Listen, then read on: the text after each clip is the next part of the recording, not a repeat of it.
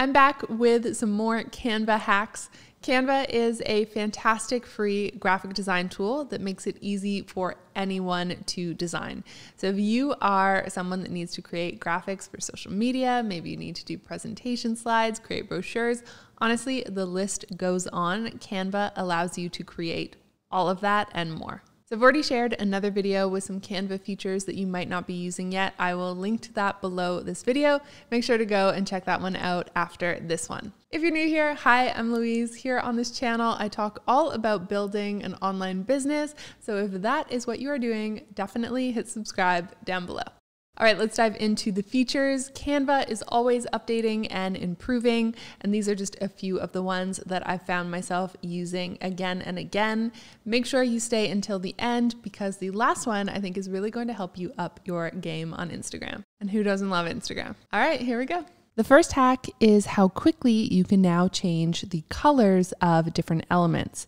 So, for example, let's say that I wanted to change these pink sparkles to yellow. So I wanted to change it here, but I also wanted to change it on the second page of this design rather than having to go to each of them individually and change the color. Now you can simply click on one, come up here to the square to change your color, select the color that you would like instead. And then you're going to go right down here and you'll see this option to change all. Click on that and that will change all of those elements within this design to yellow. So now we have yellow sparkles there and yellow sparkles here as well. So that has definitely saved me a ton of time. This one has been highly requested, so I am super excited to tell you that it is finally here, and that is the ability to curve your text. So I have a text box here. All I need to do in order to curve it is click on it, then click on Effects, and you will now see Curve. Brand new. All right, so click on that. And then you can come down here to the slider and adjust how much it curves. So you could do this, or we could curve it the other way as well. So yeah, let me know in the comments if you are super pumped about this new addition as well. This next hack is how to ensure that your elements are spaced out evenly. So let's say that I wanted to have three different laptops like this in my design, okay? And I wanted to make sure that I had spaced them out evenly so that it didn't look like this. All you need to do is click and then drag your mouse across all three of them. Then you're going to go to position and select horizontally. From here, as you can see, it moved one over and it has now made sure that these are perfectly spaced out. So yeah, I use this all the time and you can also use it for vertical designs as well. So we could take something like this, go to position vertically and space them out perfectly on the vertical. The next one is how to easily copy a style from one element to another. So this works really well with text. So for example, let's say that I wanted to change with us to match the style of where it says share your. I can absolutely do that. Click these three dots here, then click this little paint roller icon, and then you're going to click on share your. Then you're going to come down to the with us block and click one more time and it's going to automatically apply all of those style settings. The next one I want to share with you because I love it. So, whenever I was uploading images before, I would go over to uploads and then I would drag my image on top of this section here. So, let me demo that quickly. Let, let's say I need to bring in my logo here. I would grab that and drag it in over here.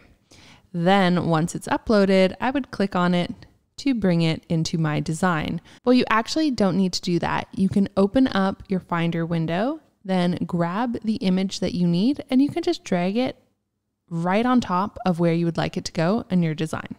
Ta da! I mean, awesome. How much faster was that? This next hack is how to easily create mockups for your online programs in Canva. So all you need to do is go over to Elements, then scroll down to Frames. From here, click See All, and then scroll down and you'll see all different devices. So you'll see a computer, a laptop, iPhone, iPad, everything that you could need to create a great mockup. So for example, I'm going to click on this one here, resize that a little bit. Then I'm also going to add in a phone and try and eyeball what size that would actually be. Same with an iPad. Awesome. So as you can see, you can create a really professional looking mockup. Then all you need to do is go to your presentation or your online program, whatever it is. So for example, I'm going to go to my online course, Up Level with Asana. I'm going to take a screenshot of this. So I'm just going to, on my Mac, hold down Command Shift and the number four. If you're on a PC, you can hit the print screen button. Then I'm going to drag this on top of this screen. Okay, and then I'm going to upload it here. So using the trick from before, we can actually just drag it here. Awesome. So now what you're going to want to do is place it within the computer. So I'm going to place it right there. All I need to do is drag it on top of it and it will take the shape of the computer. So what's the purpose of a mockup? This is really to give an inside look into what a digital product looks like to make it more tangible, make it more real. So once it's in, I can click on that. Then I can click on crop and I can go ahead and move that around and make sure that it's cropped in the way that I would like. Awesome. And then I could repeat this process for the iPad and iPhone, clicking over here, dragging it here, dragging it in place. Okay, so of course you can upload a few different um, screen grabs so that it looks even better. But yeah, that's how you create a mockup quickly and easily in Canva. Finally, let's talk about working with video and upgrading your Instagram stories. So I'm going to click create a design, then select Instagram story. If you don't find it, just search it right up here. Okay, then I'm going to look through the templates. Now you will see that when you look through the templates, you'll actually see some with video included. So if you see a little play icon like this, this means that the template has actually included a video. So once you have found one that you like, you're just going to click on it. So it won't display the video right in this editor, but you can click on it and then click on the play button to see how it will look with the video in place. So then you can go ahead and upload your own videos. So if you go over to uploads, you'll see that you have the categories of images and videos. So if we click on videos, you'll see that I already uploaded a GIF of myself, but it's the exact same process of uploading a video or a GIF as it is an image, and then it will automatically sort into the images and videos folders for you.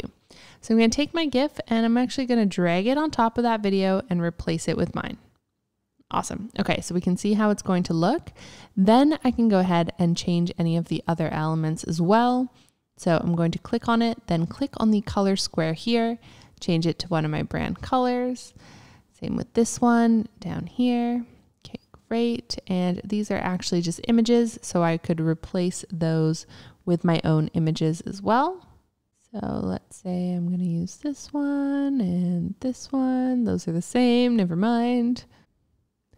Okay, so you know, just an idea. Of course, you can spend more time on this and customize it, get it looking exactly how you want.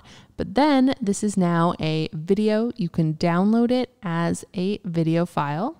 Okay, so you're just going to download, make sure that it's on MP4 video, hit download. So, as you can imagine, this unlocks a whole other level of creativity, and you can create really fantastic custom looking Instagram stories and set yours apart from the rest.